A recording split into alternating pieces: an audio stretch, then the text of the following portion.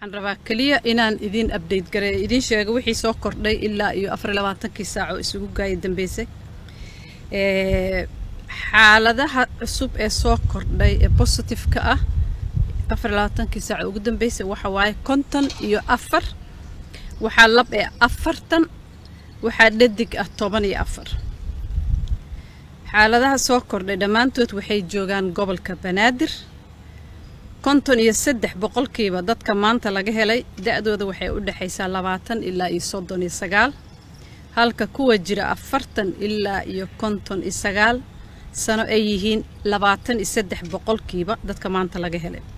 Tirada guud ee dadka laga helay cudurka guud ahaan waddanka oo dhan waxay isugu soo aruureysaa shan boqol siddeetan iyo labo.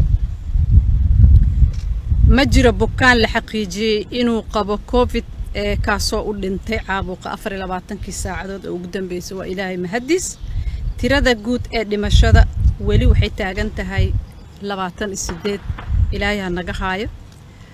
Waxaa ka bogsatay hal qof afar iyo labaatankii saac ee ugu dambeysay. Tirada guud ee bogsatay waxay noqonaysaa labaatan. Mar kale waxaan ku celinaynaa oo aan mar walba ka daalaynin inaan ku celinno in cudurkan in laga hortago aad iyo aad muhiim ay u tahay.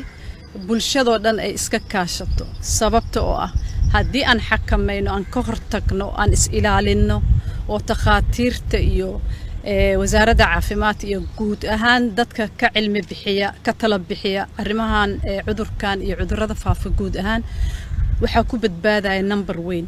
Ilaahay wuxuuna faray inaan dadaalno in layska ilaaliyo meelaha buuqa iyo ciriiriga leh si aanan cudurka laysugu gudbinin in faraha la dhaqdo oo saabuun iyo alcohol lagu dhaqdo ugu yaraan labaatan seconds. Guud ahaan caafimaadka yacni lagu dadaalo nadaafadda guud ahaan gacmo dhaqashada aada loo badiyo. In maaragtay bannaan ubaxa layska yareeyo haddii aysan daruuri ahayn.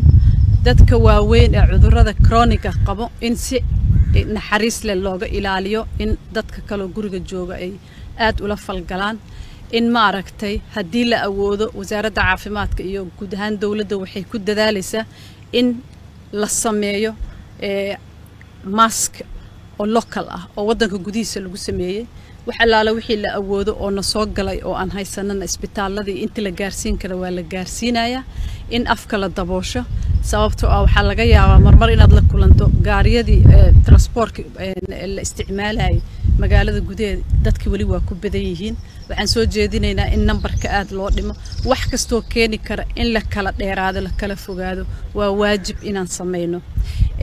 Waa ku celinaynaa waddamo naga waaweyn ilaaha weyn yacni tabar lacag iyo teknolojiya dhaqaale ahaan ayaa cudurka ilaa iyo alaana aad ula dagaalamaya annaga waajib labaadaana saaran inaan dhowrno qofka aad jeceshahay naftaada qofka aad jeceshahay iyo bulsho weyntoo dhan. Waa waajibna wada saaran inaan ku dadaalno ma aha in la dhayeelsado cudurkan waa ka xumahay maalin walba waxaan sheegayaa inuu nambar soo kordhay oo aad arkaysaan nambarada inay ka bilaabanay mararka qaarkood labaatan iyo shan soddon iyo shan afartan ilaa la gaaray kontameeyo micnaheeda waxa waaye gudihii fiditaankiisa aada u socdaa.